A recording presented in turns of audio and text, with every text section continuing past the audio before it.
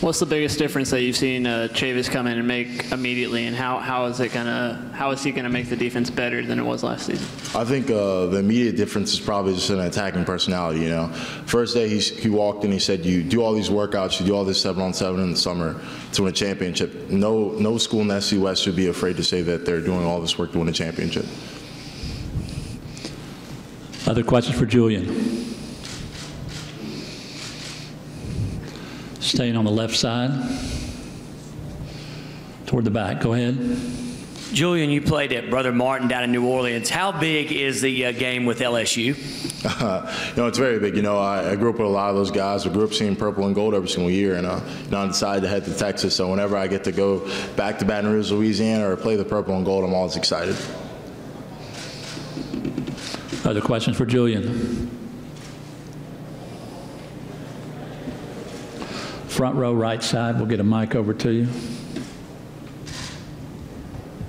Julien, talk about that fourth down play against Arkansas where you stuffed Jonathan Williams. Was there a key that, that led you to the ball? What? Go back over that play in particular. Well, uh, like I said after the Arkansas game, you know, uh, I just saw I just saw a red flash and I cross face. You know, uh, I came off the ball, you know, engaged the block pretty well, and saw a red flash and cross face and made the tackle. wasn't expecting to end the game. wasn't expect to wasn't expecting to win the game for the team, but that happened.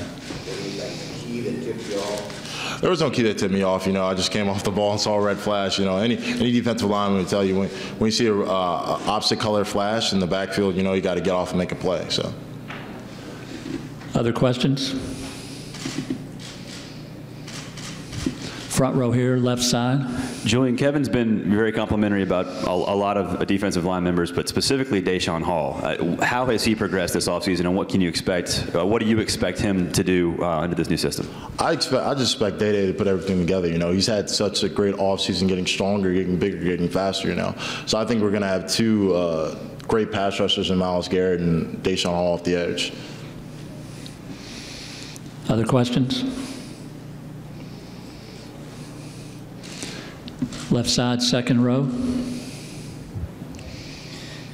I guess uh, a lot of people are talking about you guys on the defensive line. Um, what what do you think may surprise people, or what do people not understand or know about the people behind you, linebacker and, and the defensive backfield? Uh, I didn't hear that. I'm sorry. Can you repeat that? Repeat that, yeah, uh, uh, people are talking a lot about you guys on the line. Uh, I'm curious, uh, what what might be we be missing, or what might surprise people uh, about the linebackers in the secondary this year? Like, what do you see in them, or what? You know, what are we missing about them that maybe people don't necessarily know? I think that uh, we have so much talent back there. We haven't had that since maybe my freshman year. We probably, I think we have more talent than we had in the linebacker position in the back and in the back end. Um, probably more than a freshman year when we went 11 and 2. So I just think we we brought in a lot of great guys. You know, a lot of our linebackers are healthy now. We brought in a we brought in a JUCO recruit named Justin Evans that's been impressing every single coach that, that walks through the door. So I just think we have a lot of pieces. We uh, we uh, switched the guy over from the offensive backfield to defensive backfield, and I, that guy is such a great competitor that I don't think he's going to get beat by anybody. We'll go to the right side in the back. If you would, just talk a little bit more about Myles Garrett. What was it like to see him come in and make the impact he did as a freshman? You know, we knew Myles Garrett was going to be good as soon as he stepped into the weight room because he was such a strong guy. You know, being that big and being that fast and being that quick, it's just it's, it's really unnatural. So uh, we knew he was going to be that. We knew he was going to be that good when we uh, saw him in the weight room. But now he's become more of a student of the game. You know, he, he relies more on skills and just talent. So I think he could. I think he could possibly have a better season than he had last year. Maybe not numbers wise, but just impacting the game wise. Other questions for Julien? Staying on the right side, front row. Who's the hardest guy to bring down in practice? I can't, I can't hear you. Who's the hardest guy to bring down in practice? To bring down? Yeah.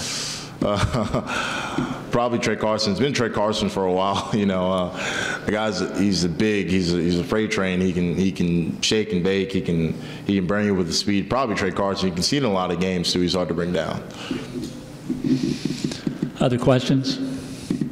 In the back, on the left side. So did y'all recover the fumble against Auburn? Yes, sir. Of course. Uh, are y'all still mad about that? Other questions? In the back? Go ahead.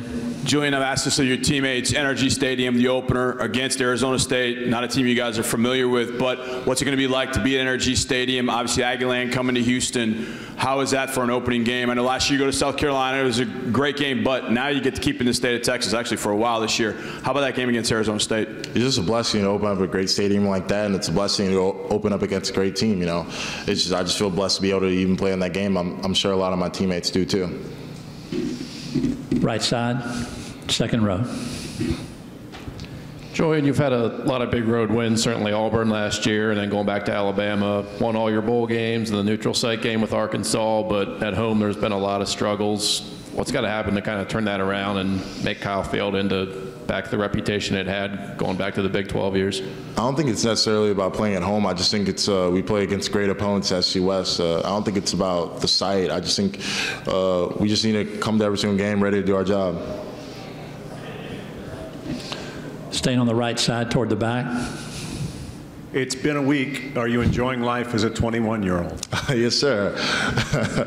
yes, sir. It's uh, it's been a rough week. If I'm enjoying life as a 21 year old. Other questions for Julien?